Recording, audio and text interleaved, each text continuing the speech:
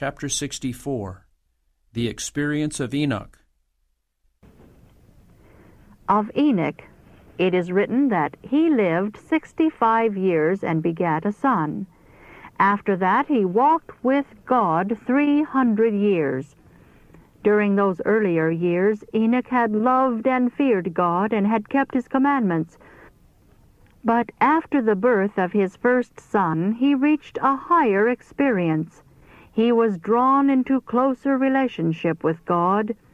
As he saw the child's love for its father, its simple trust in his protection, as he felt the deep yearning tenderness of his own heart for that firstborn son, he learned a precious lesson of the wonderful love of God to man in the gift of his Son, and the confidence which the children of God may repose in their heavenly Father. The infinite, unfathomable love of God through Christ became the subject of his meditations day and night. With all the fervor of his soul he sought to reveal that love to the people among whom he dwelt. Enoch's walk with God was not in a trance or a vision, but in all the duties of his daily life. He did not become a hermit, shutting himself entirely from the world, for he had in the world a work to do for God, in the family and in his intercourse with men, as a husband and father, a friend, a citizen. He was the steadfast, unwavering servant of God. His faith waxed stronger, his love became more ardent with the lapse of centuries. To him prayer was as the breath of the soul.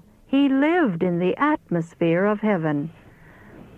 As the scenes of the future were opened to his view, Enoch became a preacher of righteousness, bearing God's message to all who would hear the words of warning.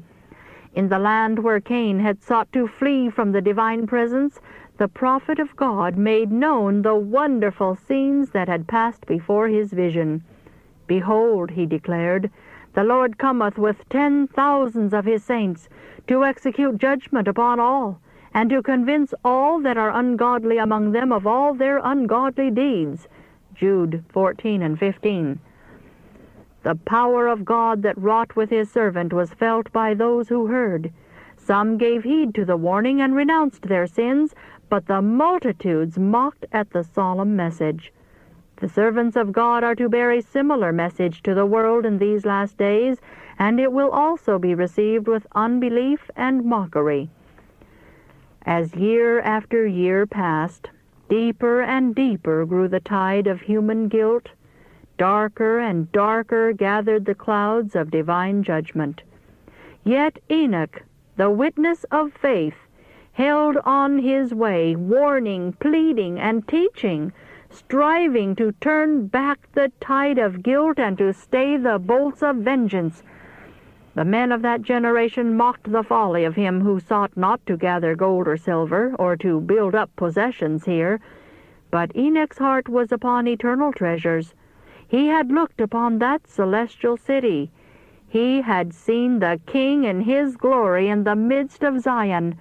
The greater the existing iniquity, the more earnest was his longing for the home of God. While still on earth, he dwelt by faith in the realms of light. Blessed are the pure in heart, for they shall see God. Matthew 5 8. For three hundred years Enoch had been seeking purity of heart, that he might be in harmony with heaven. For three centuries he had walked with God. Day by day he had longed for a closer union. Nearer and nearer had grown the communion until God took him to himself. He had stood at the threshold of the eternal world, only a step between him and the land of the blessed, and now the portals opened. The walk with God, so long pursued on earth, continued, and he passed through the gates of the holy city, the first from among men to enter there. By faith Enoch was translated that he should not see death, for before his translation he had this testimony that he pleased God. See Hebrews 11:5. to such communion, God is calling us. As was Enoch's, must be their holiness of character who shall be redeemed from among men at the Lord's second coming.